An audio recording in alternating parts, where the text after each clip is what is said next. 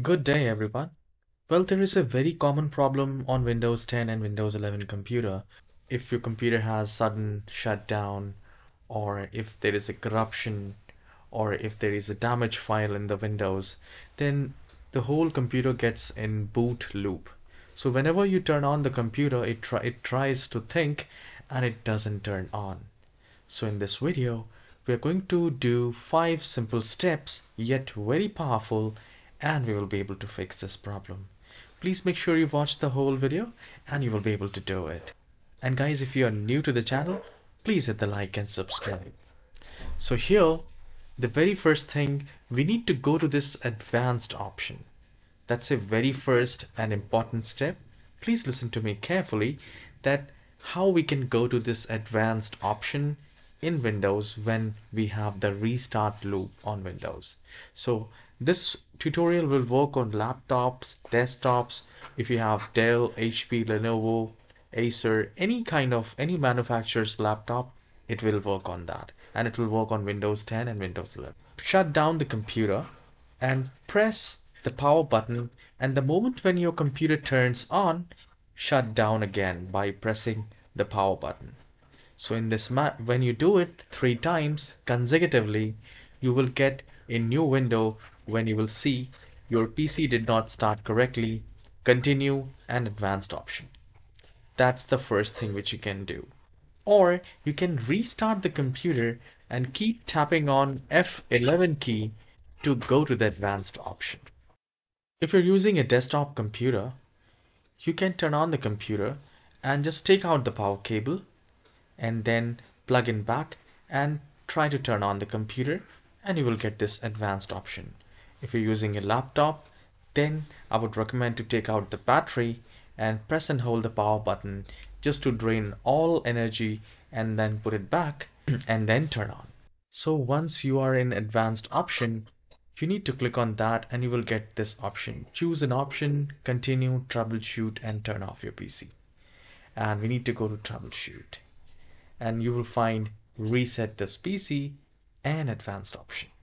Once you're here, you will find six different options and I'll tell you which needs to be done at first.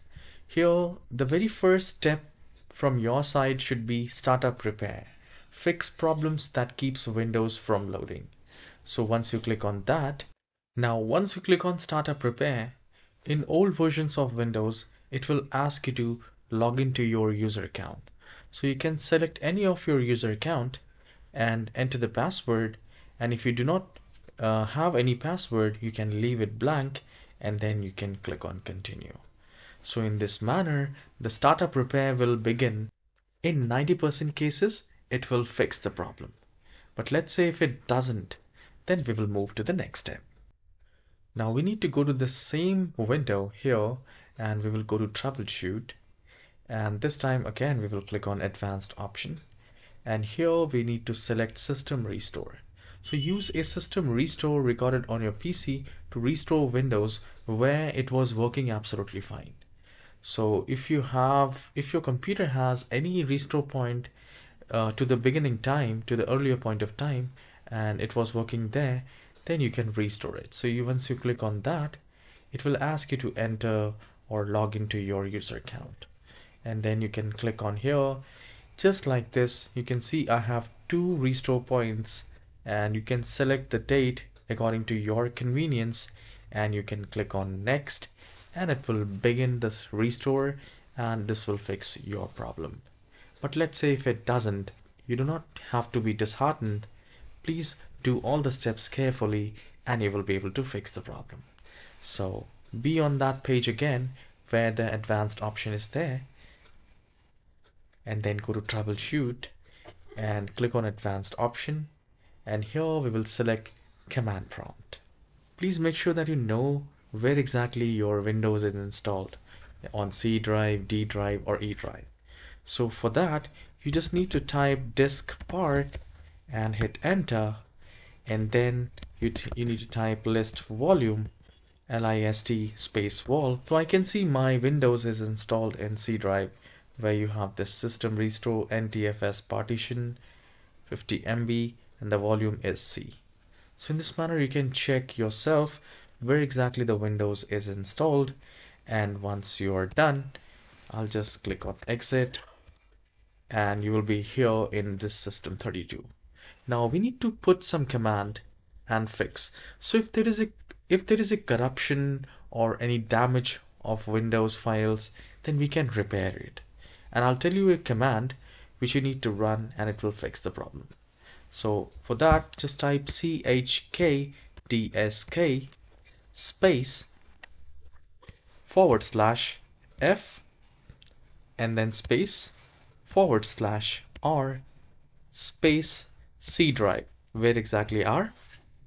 Windows is installed. So if it's um, if in your computer if Windows is installed on D drive then you can type D letter here.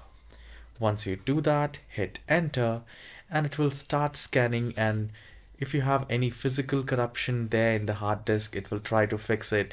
And if you have any kind of issues in the computer especially in in the disk it will scan and try to fix it.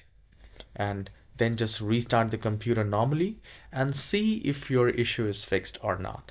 If it's not we will move to the next step so we need to again be here on this choose an option page and then go to troubleshoot. And here we have this advanced option. And again we need to click on this command prompt.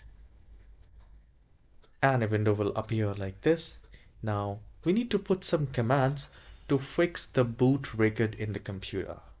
So for that you need to type boot rec boot rec space forward slash fix mbr so if there is some problems in your MBR, especially in the Windows, it will fix it and you just need to hit enter and it should say the operation completed successfully.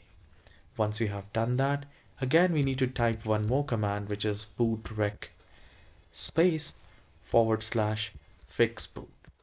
So this will actually fix the boot section and repair it and you just need to hit enter.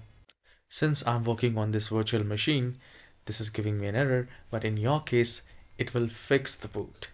Once this is done we need to rebuild the BCD file which helps to boot the computer. So for that type boot rec space forward slash rebuild BCD and hit enter so this will scan all the disk and it will repair once this is done you just need to restart the computer normally and see if the issue is fixed or not. After doing all these steps, if you still have issues, you can let me know in the comment section. I'll try my best to fix your problem. And I'll see you in the next tutorial guys. Please hit the like and subscribe. Have a wonderful day.